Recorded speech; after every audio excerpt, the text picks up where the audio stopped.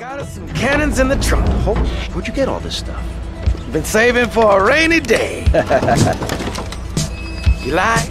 Yeah, I like.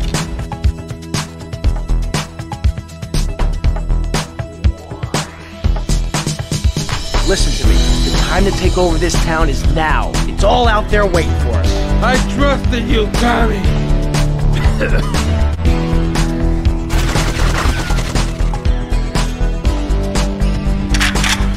Night,